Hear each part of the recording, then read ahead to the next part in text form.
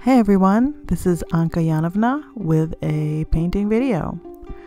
I am starting on a piece that has already been painted on. I was going in a different direction, changed my mind, and switched to a rainbow kitty pillar. So all that um, cool abstract is going to be painted over. Ignore it. Um, so this is um, the second five by six size rainbow kitty pillar I've painted.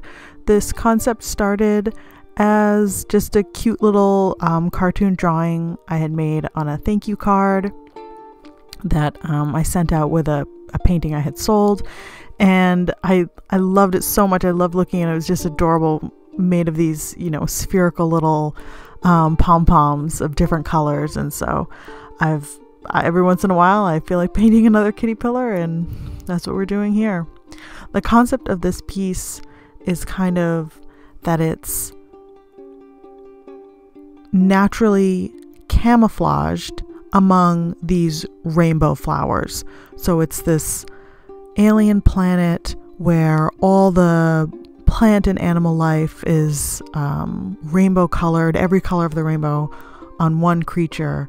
And in order to not stand out, of course, be, be safe from predators, um, the kitty pillars are known to hide among these beautiful flowers, all different types of plants, where these sort of rounded shapes obscure obscure their little bodies. So this piece I did go through a lot of revisions. I was really making it up on the painting itself. So I was kind of going for oh maybe the edges of the flowers would have this glow um, and then, you know, that's really fun to paint is the reflected light off the fur and the other leaves that glow. And I scrapped that, but I kind of, you can see, I kind of kept painting over it.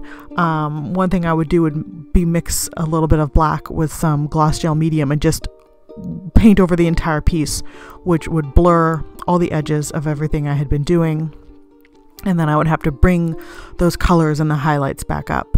Um, the benefit is by the end, it's a very moody, um, layered painting. Acrylic paints are slightly um, translucent, and so adding a million layers, it looks like I'm just repainting something over and over again, which I mean, a little bit was going on with this because I kept changing my mind. But to make a really glowing, um, multi layered effect, you are going to have to paint over an area multiple times with kind of thin washes of paint. And um, that's how you can get this really deep, um, deep glow. And so by the end, ooh, okay, these are very just gummy flowers. um, Rainbow Kitty Pillar in the Gummy Garden was the title of this piece. And added some glow with the little fireflies all around. Kind of pictures this as a night planet. And there she is. Absolutely adorable. Thank you so much for watching. I really appreciate it, and I will see you again soon. Bye.